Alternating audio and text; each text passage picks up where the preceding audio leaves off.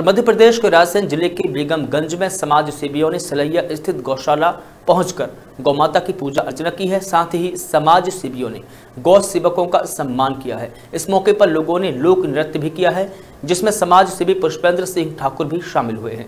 बता दें कि दीपावली के पावन पर्व के दूसरे दिन सूर्य ग्रहण के चलते इस बार तीसरे दिन गोवर्धन पूजा की जा रही है। कार्यक्रम के दौरान कई और भी समाज सेवी शामिल हुए।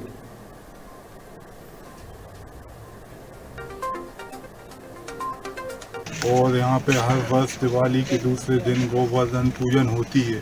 और जितने भी कर्मचारी हैं यहाँ पे, चौदह कर्मचारी हैं, उनको सम्मान दिया जाता है जो कि साल भर मेहनत करते हैं। और यहाँ पे गौशाला में अभी अभी वर्तमान में कम से कम साढ़े उन्नीस सौ गोवंश हैं। ये हर वर्ष की भांति इस वर्ष भी यहाँ गोवर्धन पूजा के दिन गौ पूजन होती है। यहाँ सभी लोग गौशाला आए हुए थे, शहर के सभी सम्माननीय गौशाला में आकर यहाँ गौ सेवकों का सम्मान किया और गौ पूजन किया।